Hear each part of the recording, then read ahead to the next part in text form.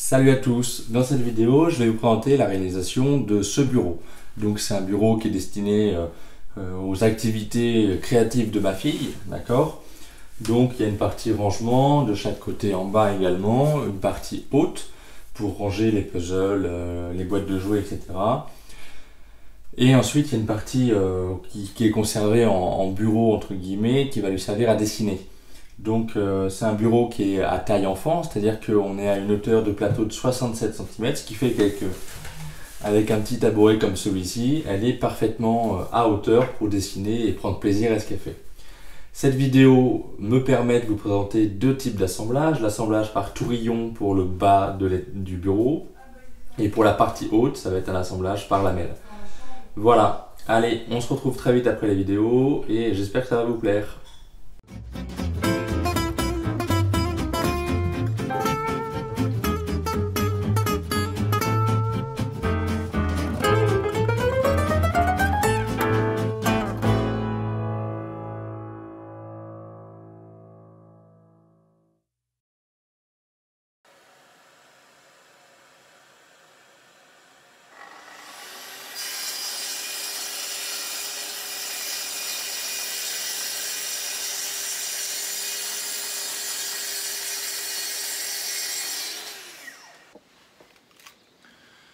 Du coup, sur le, crayon Pika, euh, c'est un Pika Dry, j'ai mis une pointe rouge pour pouvoir voir mes marques sur le truc.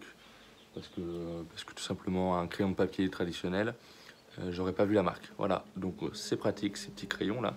Pika, Pika Dry, c'est vendu comme ça, avec un petit, un petit taille crayon au bout. Et vous avez différentes couleurs de pointe.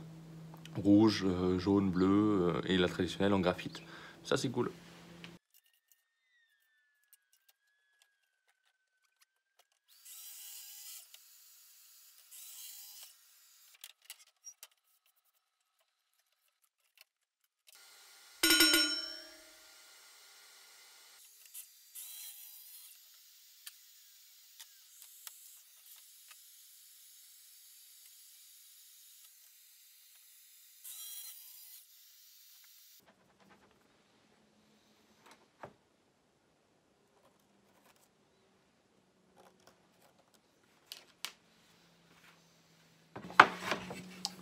Donc là, je viens de centrer du coup euh, pour avoir une équidistance entre le bord, ce trou, le bord, ce trou, ce qui fait que ce trou se trouve parfaitement au milieu de la planche.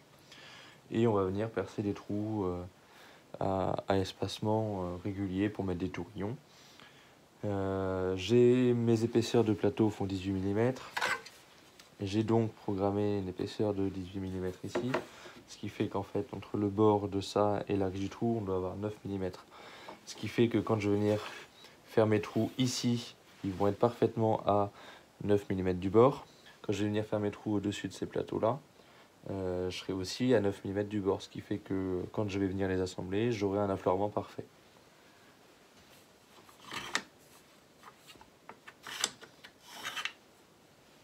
Voilà, donc arbitrairement, je vais choisir un espacement. Euh, je pense que je vais faire, euh, on va les marquer, je vais en faire un, trou à, 4. Donc de l'autre côté, du coup, c'est un trou qui est à 5 ici. Ensuite, je vais faire un trou à 8, 11. Donc 1, 2, 3, 1, 2, 3. Voilà.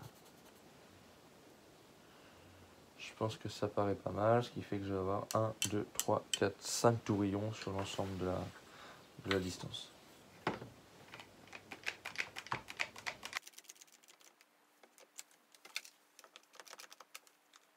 Donc j'ai 18 mm, je vais venir enfoncer euh, euh, de ce côté-là environ 1 euh, cm, ce qui sera suffisant.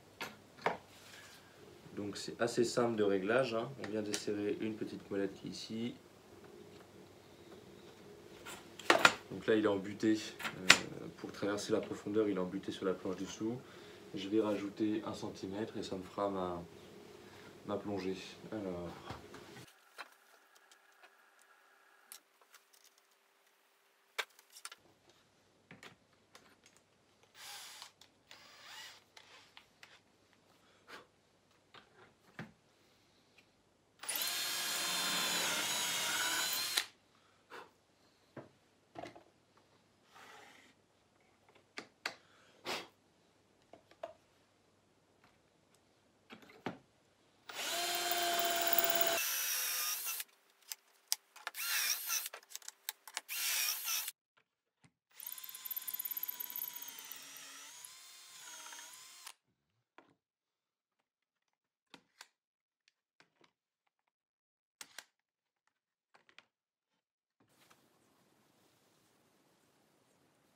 vous remarquerez que pour conserver l'écartement euh, parfait l'alignement parfait de chaque trou, je, démonte qu'un seul, euh, à chaque fois qu'une seule cale. C'est-à-dire que si j'ai besoin de travailler de l'autre côté, je vais d'abord me servir d'une planche de référence où je vais replacer euh, la petite cale là, avant de démonter l'autre. Ça permet de toujours travailler avec les mêmes positions et éviter de s'embêter.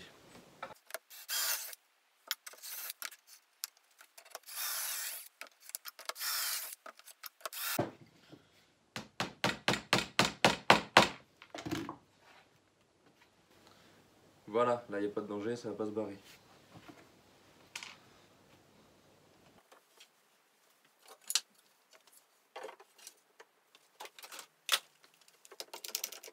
Donc là du coup je vais régler la, plongée de, du forêt, c'est-à-dire que j'ai plongé de 12 tout à l'heure pour euh, des tourillons de 35, donc il me reste 23 à plonger. Je vais mettre 24 euh, par précaution pour les petites sueurs, etc.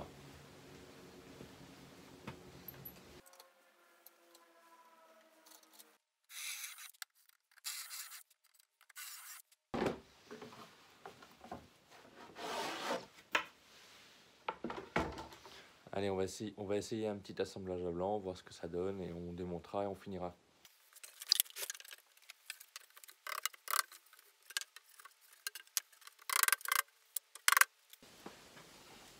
Donc là, je viens de changer un petit peu la configuration, c'est-à-dire que je garde une butée pour être euh, à la bonne distance de ce bord-là. Et j'ai supprimé cette butée-là parce qu'elle était euh, en plein bois.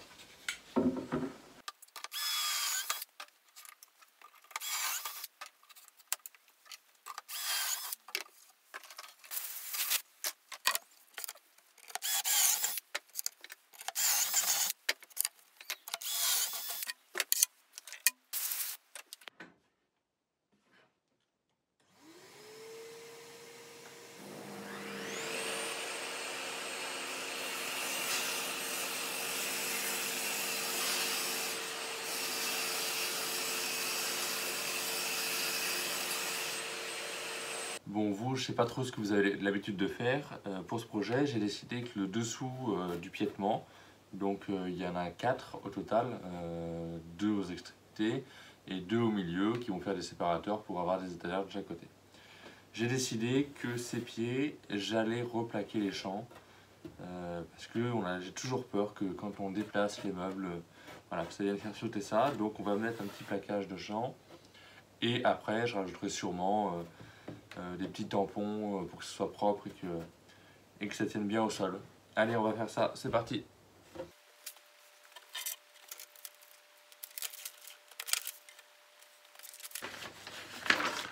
Donc euh, c'est de la bande de champ thermocollante là. Le rouleau de 5 mètres ça vaut 5 balles.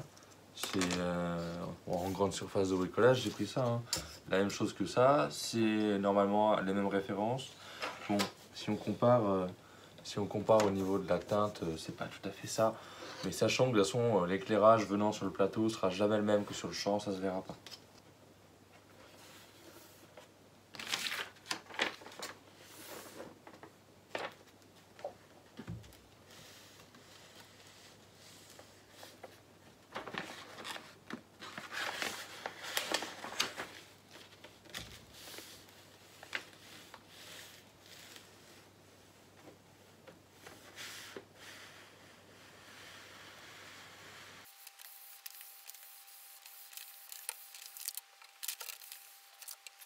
Voilà, donc là c'est bon, hein, c'est collé, il n'y a pas de problème.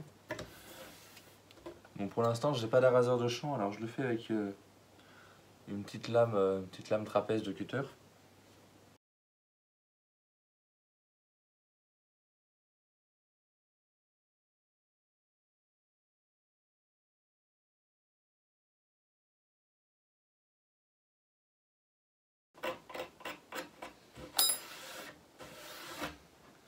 Bon, c'est pas euh, hyper propre, c'est pour ça que j'ai commencé par le dessous des pieds plutôt que de faire le, côté du plateau. Euh, j'ai encore de l'entraînement à prendre et, euh, et voilà.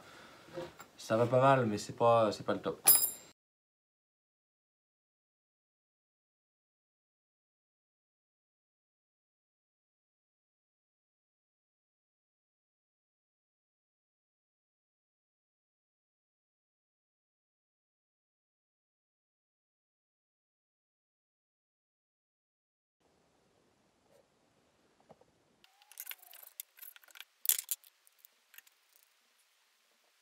Donc là, je viens de changer. J'étais sur une, euh, euh, un trou de 9 et là, je passe sur un trou de 6 mm pour faire mes emplacements de petits taquets. Euh, voilà, donc ça sera tous les 3,2 cm. Donc ça sera à peu près sur les trois quarts de la hauteur du piétement, ce qui va nous permettre ensuite de régler le positionnement des tablettes voilà, en fonction de ce qu'on a arrangé dedans.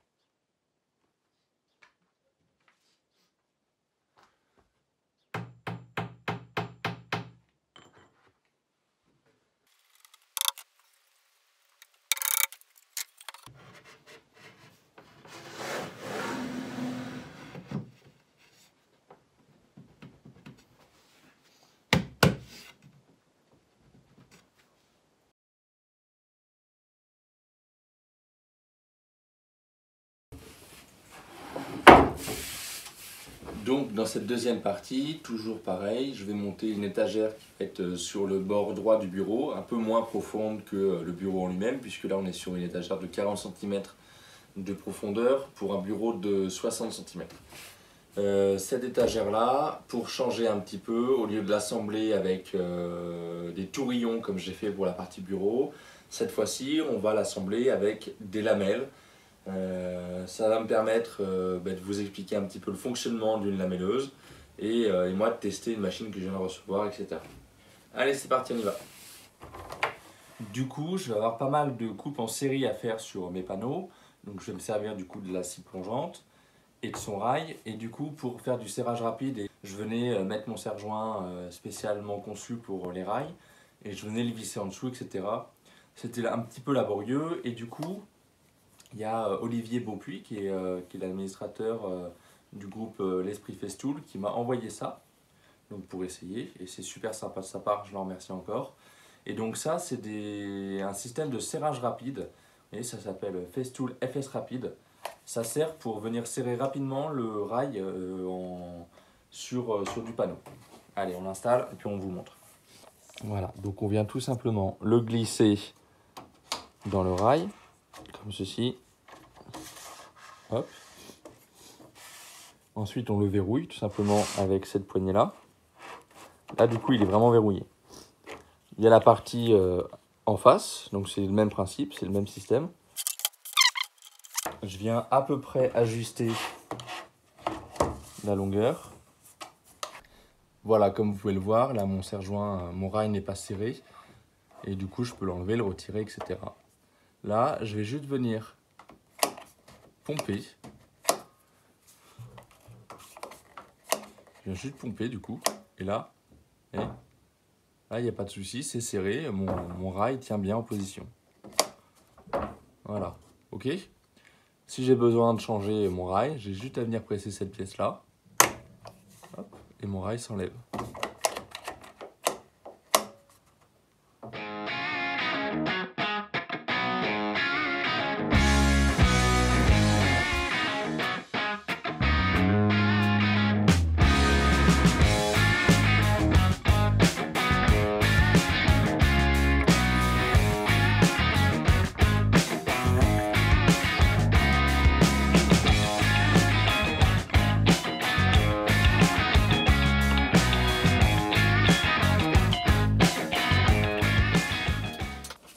Coup, comme je vous disais, pour faire les assemblages, plutôt que d'utiliser des tourillons, cette fois-ci, on va utiliser des lamelles.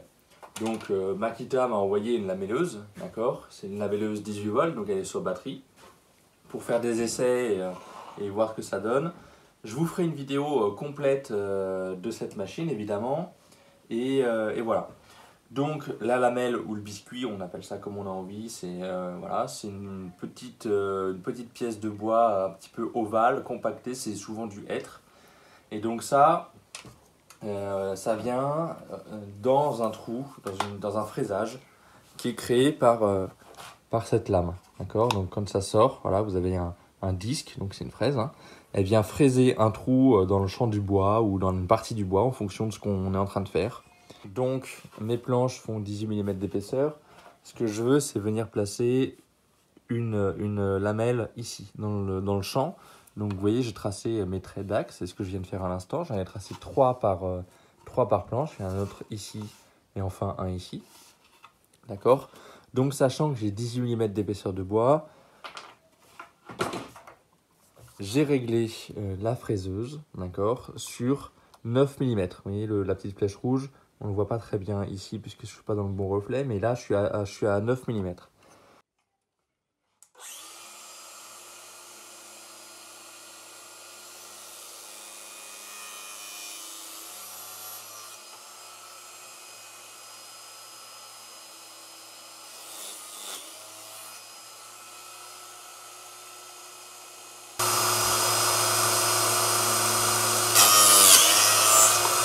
c'est machine qui est relativement silencieuse puisque je suis en train de vous parler et je pense qu'on s'entend.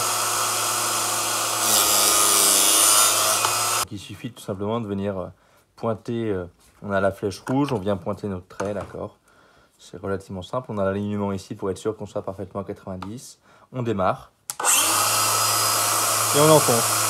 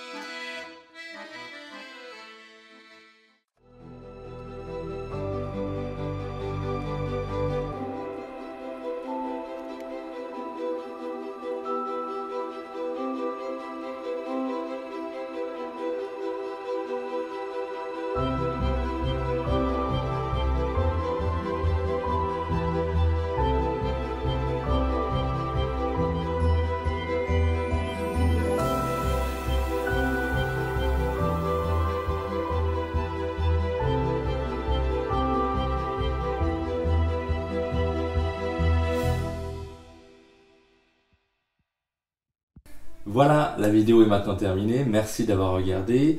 Partagez, likez et, euh, parlez de la chaîne autour de vous. Il n'y a, a, rien de plus euh, gratifiant.